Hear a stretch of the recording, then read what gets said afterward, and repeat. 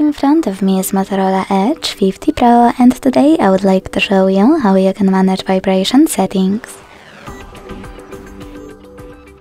Begin by launching settings and scrolling down to access sound and vibration. Then scroll down again and click on vibration and haptics over here.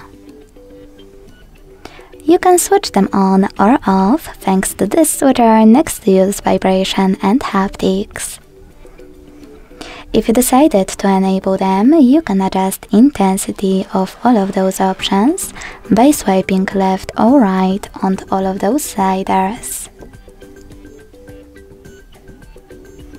You can also tap on those switchers next to all of those features to switch them off or on. When you're ready, go back. Click on those switchers next to always show icon when in vibrate mode and charging sounds and vibration and manage those two options as well. Thanks so much for watching. If you enjoyed this video, leave a like, comment and subscribe. Bye!